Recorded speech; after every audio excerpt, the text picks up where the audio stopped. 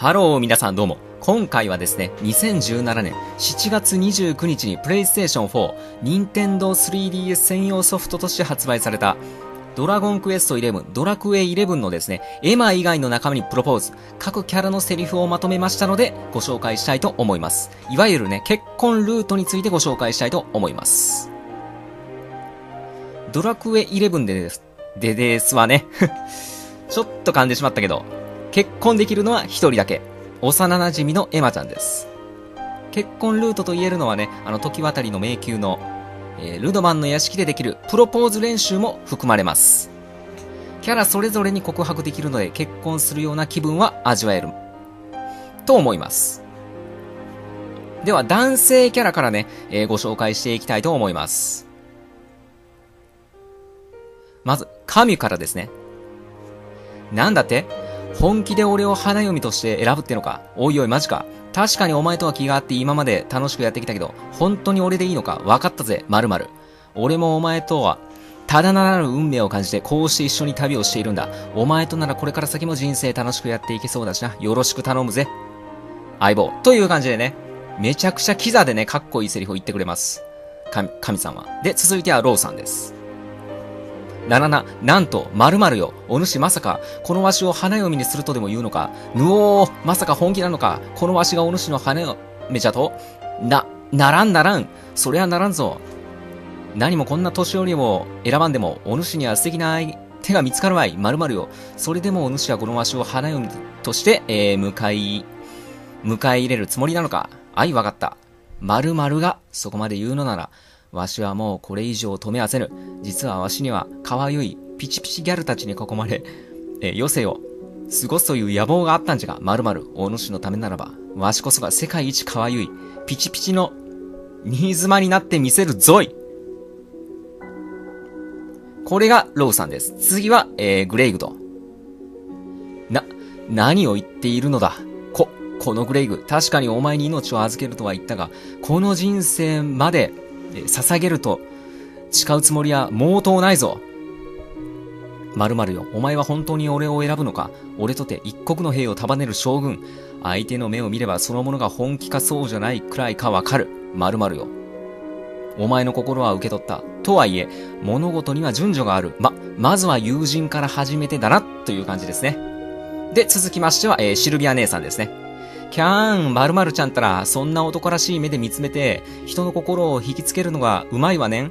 人々を魅了してきたこの私ですら、ちょっぴりドキッとしちゃったわよ本当に私でいいの？わかったわ、〇〇ちゃん。あなたのその心意気、私のハートに、ズビバンと、えー、突き刺さったわ。さあ、今すぐに永遠の愛を誓い合って、世界中の人々に幸せを分けてあげましょう。ね、〇〇チュワーン。続いてはルドマンです。なんと、このわしが好きと申すか。この私が好きと申すかですね。そ、それはいかん。もう一度考えてみなさい。では、次、プロポーズ練習のセリフ、女性キャラ編と行きましょう。まずはベロニカからです。え、何よ本気なの？そりゃ驚くわよ。だって今まであんたのことそんな風に思って見てなかったし、それに今はこんな姿なのに、あんたって私みたいなのがタイプなのね。ねえ、本当に私でいいの？ふふん、まるまる。もうとうとう、ラムダの大魔法使いベロニカ様の魅力にメロメロになったようね。わかったわ。これから先、この私がその背負ってる使命ごとあんたを守ってあげるから安心しなさい。続きまして、聖夜ですね。ほ、本当ですか？〇〇様が私を選んでくださるなんて嬉しすぎて今なら空まで飛び跳ねられそうですわ。私、私、こういうシーンを本で読んで小さい頃から憧れていたんです。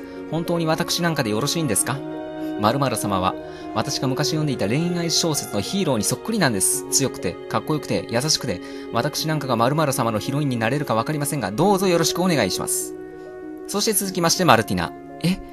〇〇どうしたの？冗談で言ったつもりだったのに、本当に私を選ぶなんて。だって私はずっと年上だし、〇〇にとって、姉みたいな存在でしょ？それでも本当に私を選ぶの？え、え？えーと、古本。私は今まで〇〇のこと可愛い弟だと思ってきたけど、〇〇がそこまで言ってくれるなら私もちゃんと考えてみようと思、思います。以上がね、えー、プロポーズ。まあ、練習ですけどね、各キャラのセリフまとめでした。やっぱりセーニちゃんがね、一番可愛いかと僕は思います。個人的にね。でも本当に結婚できるのはエマちゃんだけです。本当に結婚できるのはね、物語中でエマだけですんでね。まあ、ネルセンの試練でね、クリア後に、エマと結婚したいを選ぶことによって結婚が可能となります。結婚することでね、えー、武器を作れる英雄戦記下巻の入所条件となっていますので、他のヒロインと結婚したいと思うも、思うとね、まあ、辛いものがありますが、それは我慢してください。今回は本当にエマちゃんとしか結婚できませんのでね。まあ、その他のキャラの結婚、エマちゃん以外のキャラと結婚したいと思っていた方はね、プロポーズ練習でね、もうそういう結婚気分をね、味わうしかないということです。まあ、ドラクエ8や5みたいにね、えー、2人か3人、その中からね、その選択肢の中からまあ1人をね、選べたらよかった気がしますけども。セーニャとかね、マルティナは明らかに主人公に好意を寄せてくれていますからね。